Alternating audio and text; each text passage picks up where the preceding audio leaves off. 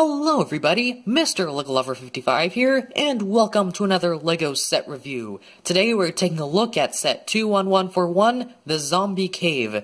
This set is recommended for ages 7 to 14 and has around 241 pieces. So here on the front of the box we've of course got the Zombie Cave. We've got all of the minifigures included, or slash figures at the bottom. Uh, I've got the new corner box art for LEGO Minecraft 2018. Uh, LEGO Minecraft logo, of course, at the top. Here on the back, it shows all of the play features and what the set looks like from behind. And that's pretty much it. So, let's go ahead and take a look at the set. Now, in my the whole in the whole video where I got this set, I said that this would be this is my least favorite of the 2018 Minecraft sets, but uh, I've been debating whether it still is, so I guess we'll sort of see if it is still. So uh, here's what the set looks like from the front. So I guess starting off with play features, uh, we've got a button right here, at least that's supposed to be representing a uh, stone button, I guess. So if you push that, then this TNT comes out, so that goes like that, and it sort of explodes there.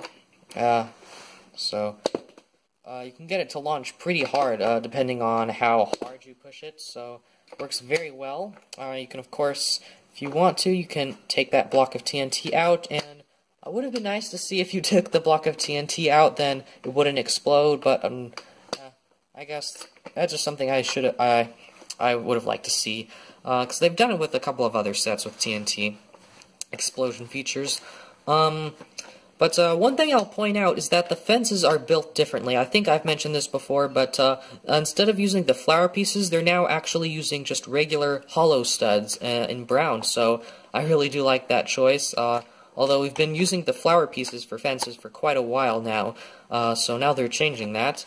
Uh, they're using the same ladder design that they used with the Ice Spike set, as well as the uh, Mountain Cave, so they're using that here. I think that works very well still. Um, we'll take a look at all the figures later, so I'm just going to move all of them out of here. Um, but uh, up here at the top, we've got a furnace, and that is the new furnace design where you can actually reverse it. You can have it uh, being have make it look like it's cooking something, and then make it look like it's not. So that's nice. Got a couple of blocks of gravel here, and uh, these, uh, we've seen gravel blocks before in the, uh, what should I call it, the Crafting Box 2.0, uh, and now we get in a much cheaper set, so it's neat. Um, also, these uh, flower pieces are new, I believe that, or at least the flower pieces on top are new, those are the new 2018 flower pieces.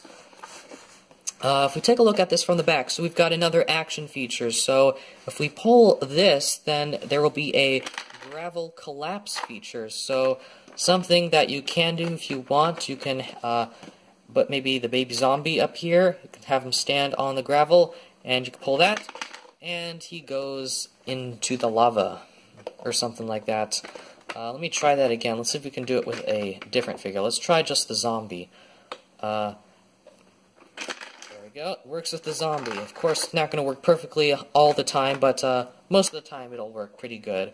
Um, another play feature that you've got uh, is with the bat. So you can fold up the wings if you want, and this is the same feature that was in the mountain cave. You can actually hang them up on a block, specifically this one right here. So basically how they did this is they uh, used an inverted tile here. Let me just take that off.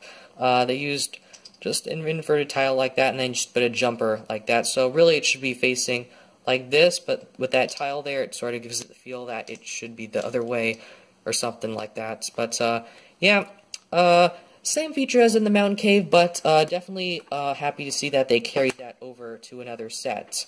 Um, although I will say the proportions uh, are of that are off right there, but uh, that's perfectly fine. It's not very noticeable at all.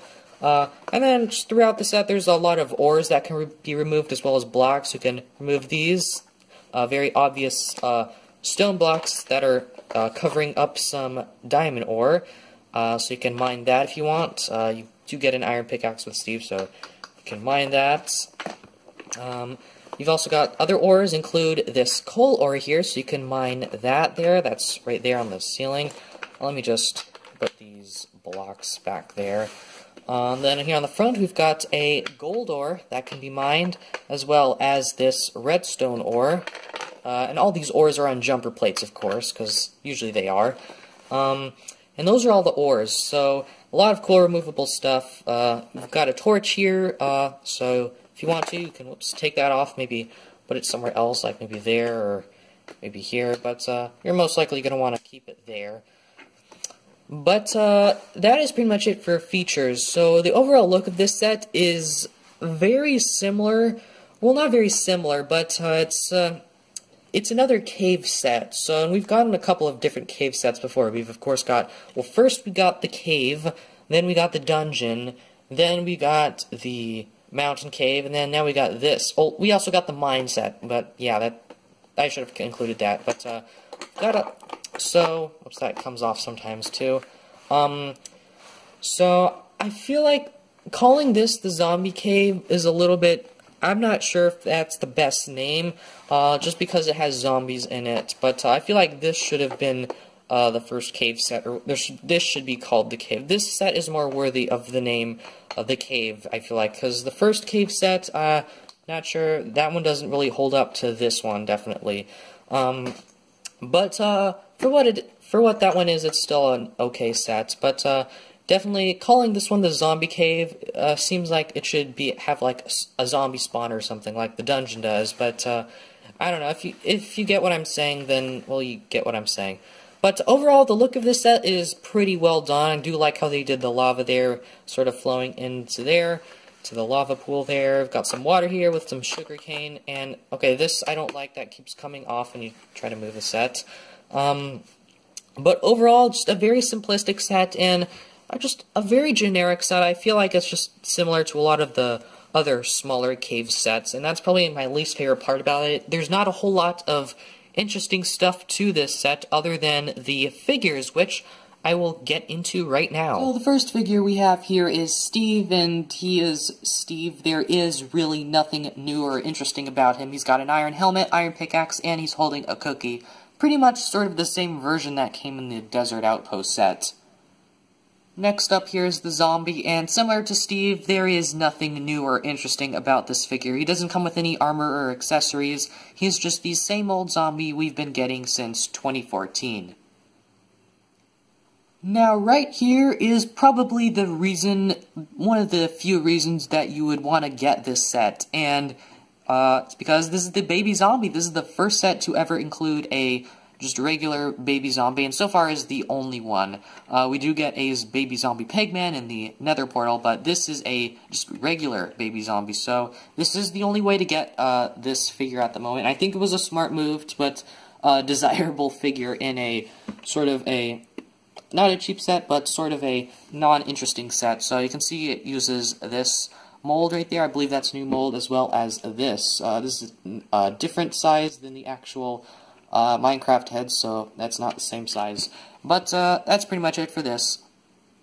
Then probably another reason why you would want to get this set is because of the bat. Now, previous this bat is not exclusive to this set, but it previously came in a much, much more expensive LEGO Minecraft set. In fact, it came only in the biggest, largest, expen most expensive LEGO Minecraft set before this, which is the Mountain Cave. Um, however, LEGO was generous, generous enough to give it to us in a cheaper set. Even though I do have the Mountain Cave, it's nice to get a third one.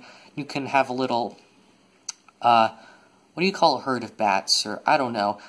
You can have a little army of bats, I guess, if you want. And you do get an extra one of those, uh, face, uh, uh, little face one by one plates, so that's pretty neat. So if you want, you can maybe make more of those guys. So here is the instruction manual for this set. Here on the front, pretty much same stuff as on the front of the box. Uh, here it shows that you should open up the bags according to their numbered in their according to their number in order. Um, got instructions, instructions, uh, more instructions, then the final product, our good old list of pieces. Uh, that continues on to the second page. Uh, little uh, shows that you can combine all of the Minecraft 2018 sets, or all the LEGO Minecraft 2018 sets together. And then it shows all of the LEGO Minecraft 2018 sets there. And then advertisement for the LEGO Minecraft website. And then this awesome poster of some of the 2018 sets there, which is which looks amazing, I'll say. Uh, advertisement for LEGO Life, and that's pretty much it. So let's move on to the end of the video. So overall, I think I can now confirm that this is my least favorite of the 2018 LEGO Minecraft sets, at least from the first wave. Um, not to say that it's a bad set, but uh, it's definitely my least favorite out of the others, mainly because a lot of the other ones are a whole lot better, like the Chicken Coop, I would prefer that any over any of the uh, sets that are released this year. Then the, of course, there's the uh, the smaller sets like the Melon Farm and the Nether Fight. Those are really good sets for their price. Well, not for their price; they're kind of overpriced. Um, then there's the the Farm Cottage. Uh, well, that one's okay, but I like that one more than this. Uh, the Polar Igloo, I do like that one more than this set. And then there's the Nether Portal, which I definitely like a whole lot more than this set. But uh, overall, um, it's an okay set. Uh, definitely one of the main reasons that anyone would probably want to get this set is for the figures, and there are really only two desirable figures in this set, those being the baby zombie and the bats. But uh, overall, other than those figures, there isn't a whole lot of stuff that you would really want to get from this set. I mean, the new furnace design is cool, but uh, you can easily get that in, like, the chicken coop set or something. And then all these ores are, well, they're just ores, you can just build them. Um, but, uh, yeah, overall, just not, uh, it doesn't have a whole lot that makes it interesting in terms of new stuff. But, uh, really, the main selling point of this set is the baby zombie and the bats. Most, most of it being the baby zombie. But, uh, overall, that's pretty much all I have to say about this set. So I hope you guys enjoyed this video. Thank you for watching, and keep building!